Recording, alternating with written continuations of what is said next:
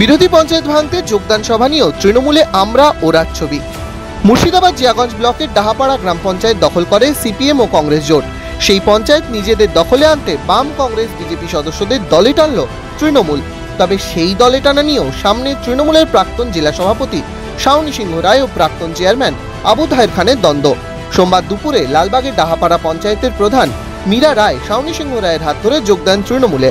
শাওনির দাবি যোগ দিয়েছেন তিনজন সিপিআইএম এর সদস্য এবং বিজেপির একজন সদস্য। আজকে ওই অঞ্চলের প্রধান আমাদের আমরা আজকে আমরা করালাম। এটা আমাদের কাছে খুব বড় এবং আমরা বিশ্বাস যেভাবে বিভিন্ন অঞ্চলে আজকে আমাদের ঠিক সেইভাবে আগামী দিনে রাহাপাড়া অঞ্চলেও আমাদের সেই উন্নয়ন হবে। আর সন্ধ্যাবেলায় বহরমপুরে আবু তাহের খানের সাথে সাক্ষাৎ করে তৃণমূল কংগ্রেসে যোগদানের কথা ঘোষণা করলেন ওই পঞ্চায়েতেরই কংগ্রেস উপপ্রধান বেদার হোসেন। সাথে যোগ দেন আরও তিন কংগ্রেস সদস্য ও একজন বিজেপি সদস্য।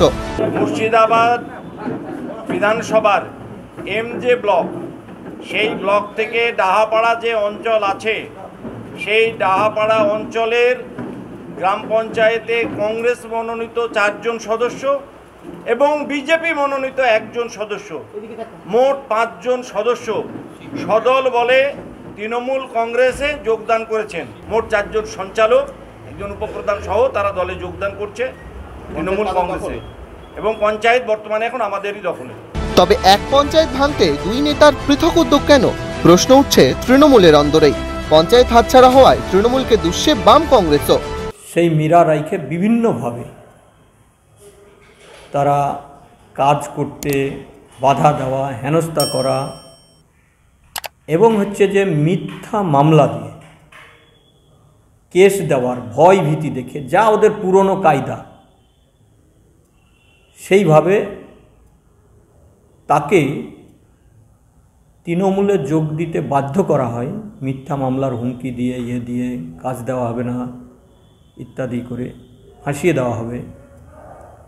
এই পুরনো কায়দা যেভাবে হচ্ছে, সেইভাবেই ভয় ভীতি দেখিয়ে দেখানো হয়েছে। ফলে যে প্রধান মীরা রায়, সে সাউনি সিংহ রায়ের হাত ধরে যোগ দিয়েছে। প্রাক্তন তৃণমূলের সভানেত্রী, কংগ্রেস থেকে পালানো শাওনি সিংহ রায়, দুজনে এই নজনকে ভাগাভাগি করে নিয়ে দুজনকে জয়েন করাচ্ছেন।